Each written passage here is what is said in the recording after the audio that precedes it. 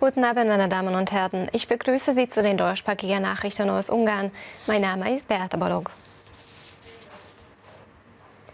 Bei Neubauwohnungen und Häusern nehmen die Familien in neun von zehn Fällen das Wohneigentumförderprogramm für Familien, kurz CHOC, in Anspruch, geht aus den neuesten Statistiken hervor. Bis Ende des Sommers wurde es von rund einer halben Million Menschen beansprucht. Inzwischen hat auch schon das Familienschutzprogramm gestartet. Staatssekretärin Katalin Nowak erklärte, dass das Ziel sei, Ungarn früher oder später zu einem echten familienfreundlichen Land umzuwandeln. Die Familie Volz aus Jula bewarb sich im Mai letztes Jahres um dem Wohneigentum-Förderprogramm für Familien und erhielt die maximale Subvention, mit der sie ihr neues Haus bauten. Uns geht es viel besser, weil wir Zeit miteinander verbringen können. Wir haben mehr Platz und die Kinder haben Platz zum Spielen. Mehr als die Hälfte der unterstützten Familien, wie auch sie, haben zwei Kinder. Viele planen jedoch eine Familienerweiterung. Bisher wurde die Geburt von 55.000 Babys versprochen.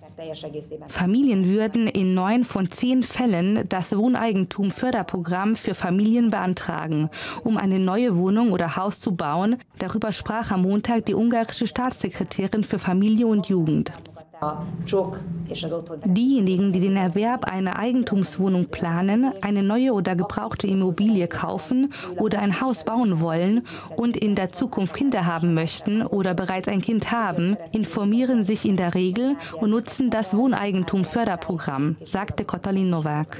CHOK ist die wichtigste Komponente des staatlichen Beihilfeprogrammes für Familien zur Schaffung von Eigenheimen. Bisher wurden für ungarische Familien 340 Milliarden Forint zur Verfügung gestellt.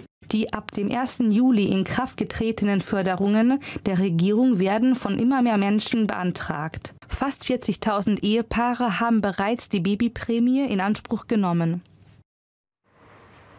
Istvan Talos hat einen erheblichen Vorsprung gegenüber den anderen Kandidaten in Budapest, aber es könnte noch versteckte Wähler geben, die den Ausgang der Kommunalwahl noch beeinflussen können, zeigt die Umfrage des Nesypon Forschungsinstitutes. Etwa zwei Drittel der Budapester halte den abtierenden Oberbürgermeister für geeignet, wobei zwei Drittel oder sogar mehr Menschen denken, dass die anderen drei Kandidaten ungeeignet seien.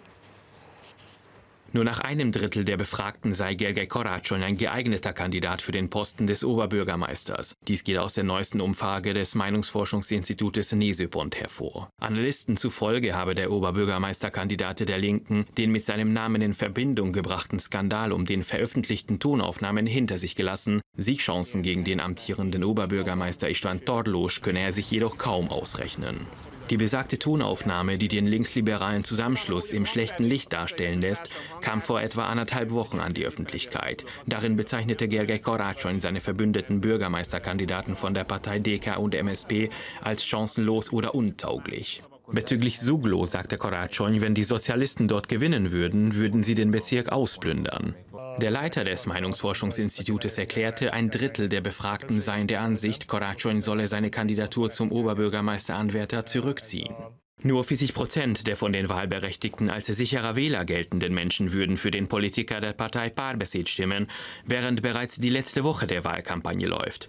Die Frustrierten würden sich den Wählerkreis des Robert Puger anschließen. Der parteilose Oberbürgermeisterkandidat stehe unter den sicheren Wählern bereits bei 7 Prozent der Stimmen.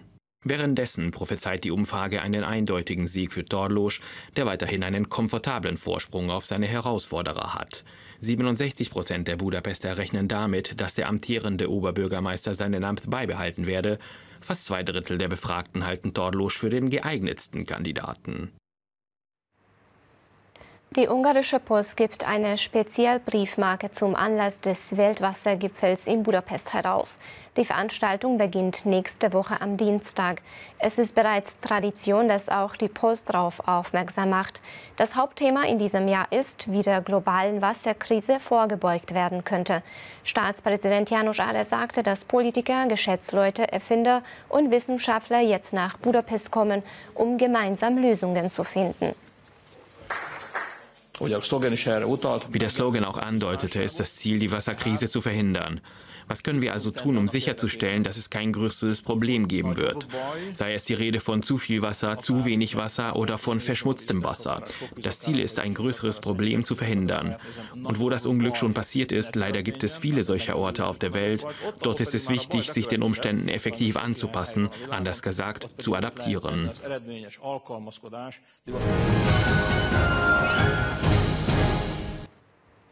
Im Fugger Architekturzentrum wurde eine Ausstellung mit dem Titel Metamorphose aus den Werken der ungarischstämmigen und in Frankreich arbeitenden Fotokünstlern Lucien Hervé und Sohn Rodolphe eröffnet.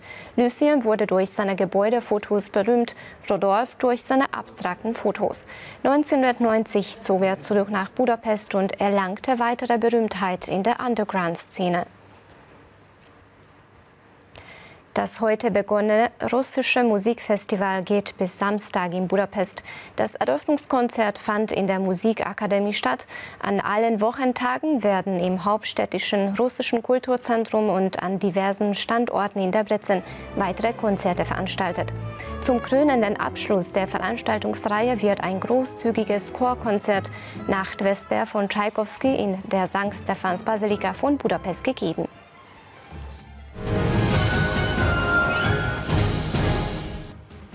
Sie sahen die Nachrichten aus Ungarn. Ich bedanke mich bei Ihnen für die Aufmerksamkeit. Auf Wiedersehen.